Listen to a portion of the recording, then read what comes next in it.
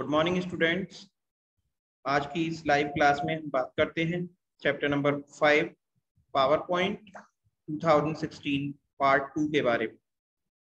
Previous live class में मैंने discuss किया था पावर पॉइंट एप्लीकेशन के कुछ टॉपिक्स के बारे में। तो आइए आज हम जानेंगे आगे के कुछ टॉपिक्स के बारे में as part two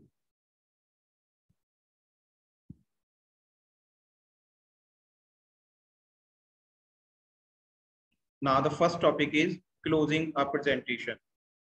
Students, अगर हम अपनी प्रेजेंटेशन को क्लोज करना चाहते हैं तो इसके लिए हम क्या करेंगे? इसके लिए हमें कुछ स्टेप्स फॉलो करने to close a presentation follow these steps अगर हम प्रेजेंटेशन को क्लोज करना चाहते हैं तो इसके लिए कुछ स्टेप्स हमें फॉलो करने होंगे। Now the step one you can see on the screen. Click on the file tab. देखिए, यहाँ माउस कर्सर की हेल्प से मैं आपको शो कर रहा हूँ। ये हमारा पावर पॉइंट एप्लीकेशन विंडो है और आप यहाँ पर देख सकते हैं। इस फ़ाइल का नेम भी यहाँ पर शो हो रहा है। और यहाँ पर जो फ़ाइल टैब है, हमें इस पर क्लिक करना होगा। इसके बाद स्टेप नंबर टू जैसे ही हम इस पर क्लिक करते हैं तो यहाँ पर हमें एक क्लोज बटन दिखाई देता है। यहाँ पर क्लिक करने पर click on the close option from the left pane हमें क्या करना होगा बच्चों? लेफ़्ट पेन देखिए लेफ़्ट साइड में है ये। तो लेफ़्ट पेन से हम क्लोज ऑप्शन पर क्लिक कर देंगे। ये क्लोज ऑप्शन हमें यहाँ दिखाई दे रहा है। इस पर हमें क्लिक करना होगा। If you have not save the presentation in case अगर आपने अपनी प्रेजेंटेशन को सेव नहीं किया है तो उस कंडीशन में PowerPoint display a message box and will be asked, want to save your change to presentation. तो यानी कि इट मींस अगर आपने अपनी प्रेजेंटेशन को सेव नहीं किया है तो पावर पॉइंट आपको एक मैसेज बॉक्स डिस्प्ले कराता है और उसमें आपसे पूछा जाएगा कि क्या आप अपनी प्रेजेंटेशन में कुछ चेंजेस करके उसे सेव करना चाहते हैं? दैट मीन आपने अपनी प्रेजेंटेशन पर जो वर्क किया होगा तो दैट मीन आपने कुछ ना कुछ चेंजेस किए होंगे।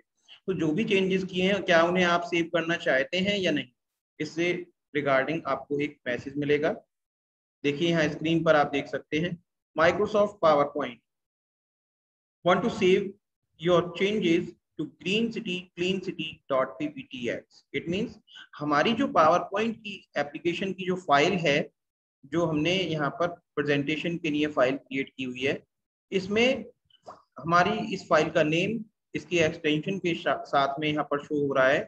और हमारे आगे थ्री ऑप्शन हैं यहाँ save don't save and cancel तो जो भी हमें अकॉर्डिंग टू अवर चॉइस जो भी हमें सही लगता है, हमें उस ऑप्शन पर क्लिक करना होगा।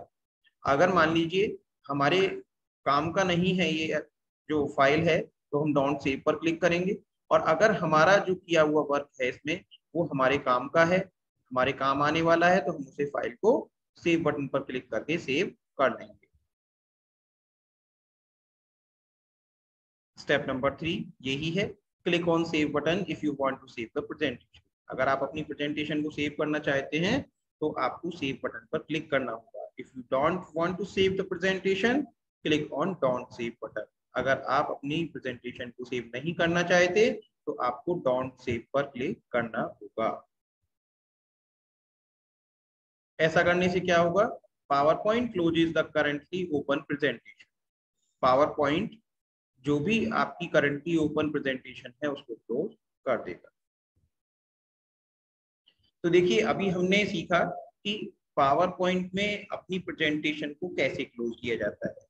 अब हमारा नेक्स्ट टॉपिक है exiting PowerPoint PowerPoint से ही अगर हमें एग्जिट होना हो तो कैसे एग्जिट का मीन क्या होता है? एग्जिट का मीनिंग है बाहर निकलना।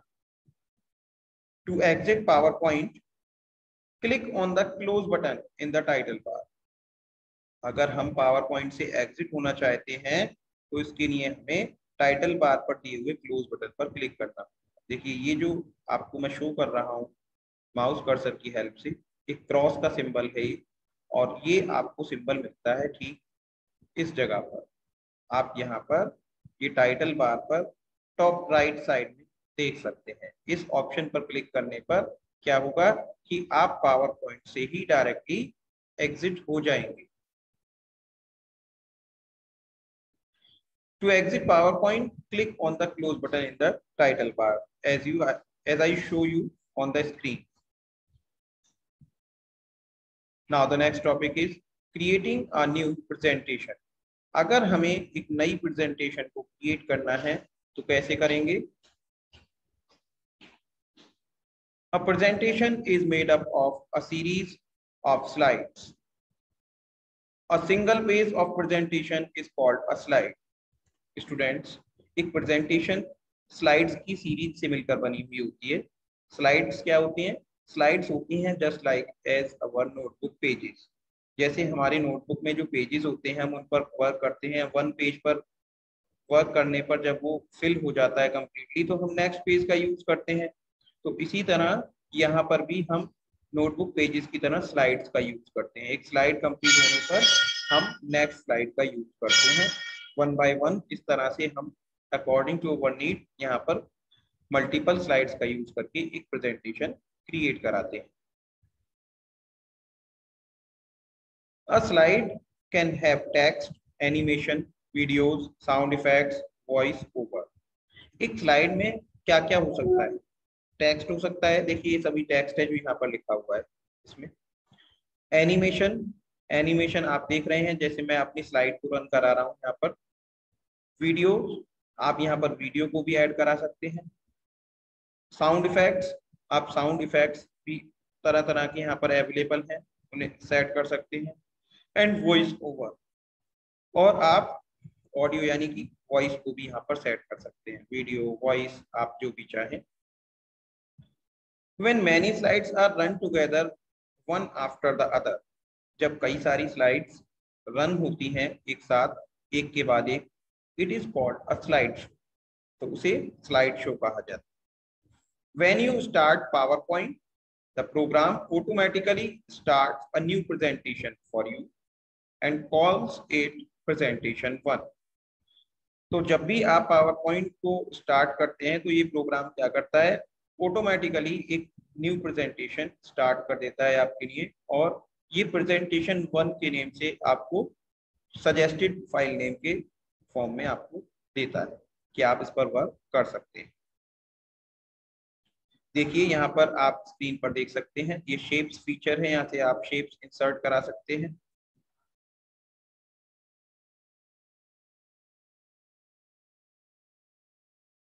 To create a new presentation. Follow these steps. Students, अगर आप एक नई प्रेजेंटेशन क्रिएट करना चाहते हैं तो इसके लिए आपको कुछ स्टेप्स फॉलो करने होंगे. Step one is file click on the file tab यानी कि आपको यहाँ पर टाइटल बार से फ़ाइल टैब पर क्लिक करना होगा. Then step number two click on blank presentation in the backstage view आपको ब्लैंक प्रेजेंटेशन देखिए यहाँ पर लिखा हुआ है। मैं आपको माउस कर्सर की हेल्प से यहाँ हाईलाइट कर रहा हूँ। ये आप देख सकते हैं। तो ब्लैंक प्रेजेंटेशन पर आपको क्लिक करना होगा और ये बैक स्टेज व्यू कहलाता है। जो आप देख रहे हैं स्क्रीन पर, इसे बैक स्टेज व्यू कहा जाता है। तो यहाँ से हम ब्लैंक प्रेजेंटेशन पर क्लिक कर देंगे। और जैसे ही हम इस पर क्लिक करते हैं a new presentation opens with a blank slide एक नई प्रेजेंटेशन आपके सामने ओपन हो जाती है, जो कि एक ब्लैंक स्लाइड के साथ में आप स्क्रीन पर देख सकते हैं। अब हम बात करते हैं क्रिएटिंग द टाइटल स्लाइड अगर हम टाइटल स्लाइड को क्रिएट करना चाहते हैं तो कैसे करेंगे? Whenever you start your presentation जब कभी आप अपनी प्रेजेंटेशन को स्टार्ट करते हैं the first slide which open up is a title slide by default जो सबसे पहली स्लाइड ओपन होती है, उसे टाइटल स्लाइड के नाम से जाना जाता है। A title slide display the text placeholder where the text is to be typed.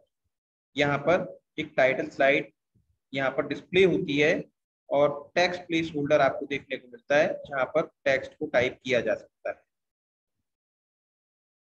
Entering text in the title text placeholder students मैंने आपको दिखाया, यहाँ पर लिखा हुआ है, देखिए स्क्रीन पर मैं हाईलाइट कर रहा हूँ क्लिक टू एड टाइटल यहाँ पर हम टेक्स्ट ऐड करते हैं और टेक्स्ट ऐड करके अपने टाइटल का नेम यहाँ पर दे सकते हैं। तो कैसे हम एंटर करते हैं? Entering text in the title text placeholder इसके बारे में हम जानेंगे।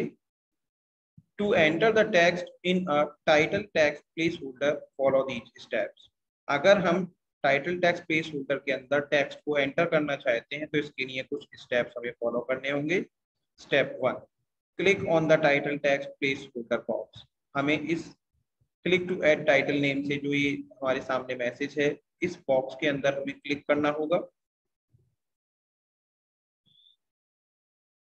जैसे ही हम क्लिक करते हैं तो स्टूडेंट्स हमारे सामने इस तरह से एक कर्सर दिखाई देगा। Type your text in placeholder box अब जो भी हमें टेक्स्ट टाइप करना है, अपनी प्रेजेंटेशन का टाइटल देने के लिए तो जो फ़र्स्ट स्लाइड होती है उसमें हम टाइटल नेम देते हैं। तो जो भी हमें यहाँ पर टाइटल रखना है, वो टेक्स्ट हम यहाँ पर टाइप करेंगे। For example in the image the text entered is green city clean city आप यहाँ देख सकते हैं इस इमेज में, ये जो सामने आपके अवेलेबल है, यहाँ पर जो टेक्स्ट एंटर किया गया है, ये टेक्स्ट आपके सामने लिखा गया है ग्रीन सिटी क्लीन सिटी ये एक एग्ज़ाम्पल है। स्टूडेंट्स आप अपनी चॉइस के अकॉर्डिंग अपनी नीड के अकॉर्डिंग यहाँ पर जो भी प्रेजेंटेशन बना रहे हैं, उसका टाइटल टाइप करके यहाँ पर सेट कर सकते हैं। The title text display in the title text placeholder and in the slide tab यहाँ पर आप देखेंगे कि जो टाइटल टेक्स्ट है, वो आपको टाइटल टेक्स्ट प्लेस होल्डर में भी दिखेगा और स्लाइड टैब में भी आपको देखने को मिलेगा। यहाँ पर भी आप देख सकते हैं, आपकी जो स्लाइड है उस पर वही टेक्स्ट देखने को मिलेगा। तो स्टूडेंट्स आई होप कि आप सभी ने आज जो भी मैंने आप सभी को टॉपिक्स एक्सप्लेन किए हैं, अच्छे से समझ लिए होंगे।